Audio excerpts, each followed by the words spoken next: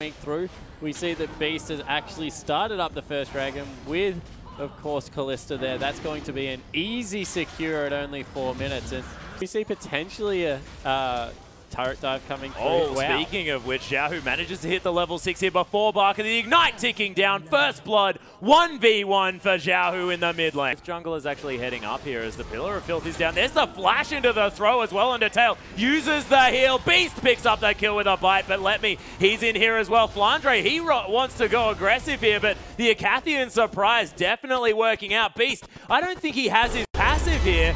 As we're just going to throw in a little bit of a video in the middle of the fight, but let me uses his empowered W. There's the passive from Beast, who's staying in this fight, but he's going to get taken down. Huey gets the kill. Flandre, he might follow after a dive.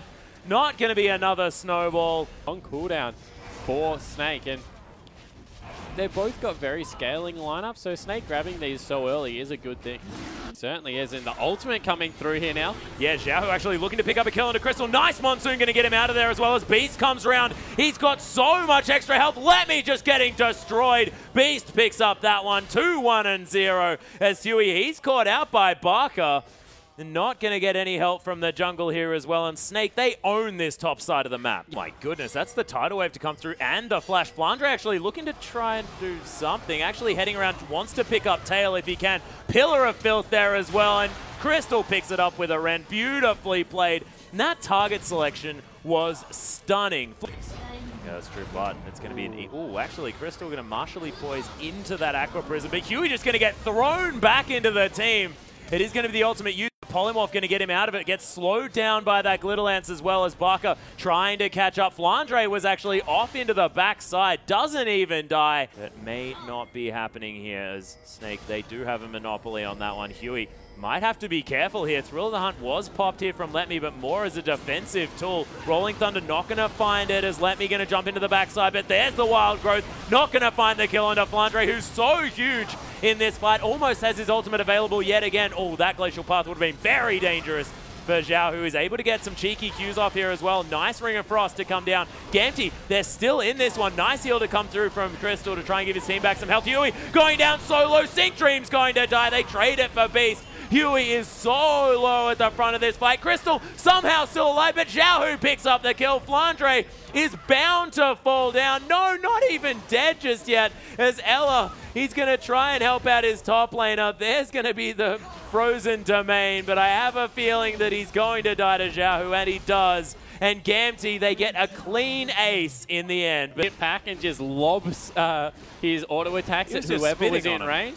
Yeah, exactly right. It's just the fact that Xiaohu's Lissandra looks so good as we jump back into some action. Yeah, speaking of Xiaohu's Lissandra, he is going to ult himself up here as well. Ella going to get caught out, gets slowed down to high heaven as Beast does have the passive available. There's the wild growth as well as Let Me looking to try and jump into this one. Thrill the Hunt was popped, but Glacial Path again. And Gamtee are getting the picks around this map that they want. Go for that Hurricane build here as well. Gamtee this is a tough gambit to throw. We'll see whether they manage to actually lock this one down. Flandre is in here as well. Glitterlance available. Flandre going to use the Subjugate here as well. He's very, very tanky, but they're ignoring him for now. There's the Frozen Domain. This Baron going down very, very low. They don't have Beast, and Huey locks down the Baron. And now Flandre is going to die as well. BAKA in a fair bit of trouble. Huey's going to fall. Crystal, he's made it into the fight. Tale falls down. Icathian surprise going to be there. The flash over the wall from Crystal. He's looking to try and make something happen. Fate's Call going to be used. Xiaohu in a lot of trouble. The double kill to come through as the mid laner falls down. Let me just wants to escape as BAKA going to ult himself up. Let me, with a lot of use of that W, is able to keep himself healthy, and he's very tanky here as well as BAKA might be in trouble, but the Polymorph going to save his life, and Crystal coming through to clear out this minion wave as well. And Snake, they get a lot of kills back, but that is still some Barons available. Right now. Yeah, speaking of real threats, though, Crystal actually picked up a Last Whisper as well as sinkDream. He's going to get caught out. Crystal picking up another kill for that one.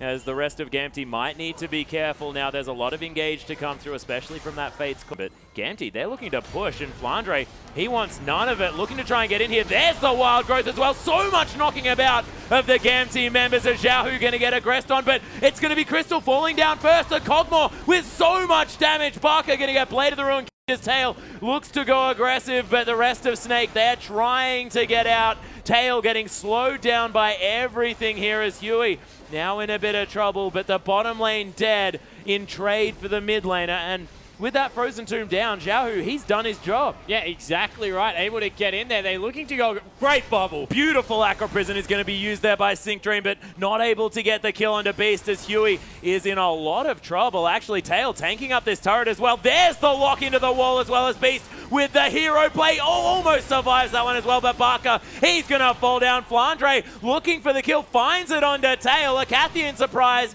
It's going to pick that one up as the double kill comes through and back no damage. away. They There no zero damage. damage. Absolutely nothing. That's two Cinder Hulks. I guess that's something. But Crystal looking to go aggressive. Let Me is going to get knocked up here a little bit. Tidal Wave going to come through. Oh, actually, Glacial Path not going to be used. They're just going to secure the Dragon with both of their smites available. Setting up for a potential area to fight. And Crystal going to have to be very careful in this next one. Because it's all on him, you have to think. Trying to get the consistent damage around with that Hurricane. Make gaming. Ridiculously well played. You're going to see this one come through. Actually, Flandre fell down. Beast as well. Crystal, of course, survives, but Gamtee looking to start off this Baron as well. It is a 5v3 situation, but they still have to be careful. The Kalista is still alive, and there's a lot of poke to come through from this Lulu, but they're not going to go for a steal because, of course, there's so many opportunities for Gamtee to secure this one. And now as well, looking to try and get a flank from the backside. Huey gets slowed down by that pillar.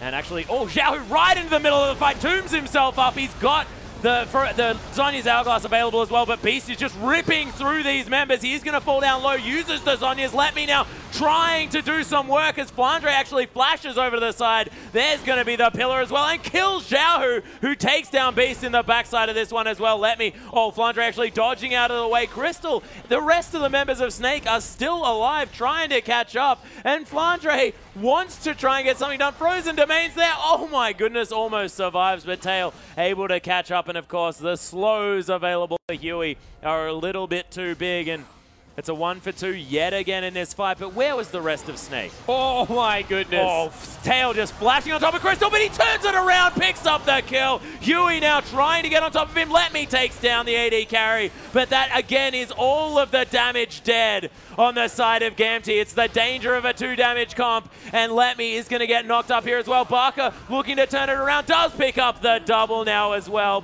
Has gone for more of the sort of damage build with the Sorcerer Shoes instead of the Lucidity Boots. Doesn't have the 40% CDR, but is going to be getting the blue buffs here as well as Gamtee have actually started off the Dragon Snake, looking to try and contest this one. Aqua Prison onto Flandre, who's going to be in a bit of trouble here. Glacial Path going to come through. BAKA going to get out of here, but Crystal able to use that QSS. There's the Zhonya's as well. Flandre huge in the backside. Beast as well, but there's the Kog'Maw dead as Flandre looking to pick up the kills. And look at what happens when the Kalista's able to auto attack. Ridiculous stuff. Let Me's gonna die as well. And they'll even get the dragon at the same time. sinkDream prevents the ace, but what is the fish gonna do against this? Yeah, that's Game Atlas. They're to move into the bottom lane. That wave is absolutely massive. Will be enough for the turret. Will probably be enough for the Nexus turrets. And we were complimenting how well Gamtee were playing these team fights, but in the end, it's all about Snake being able to get the one team fight that matters.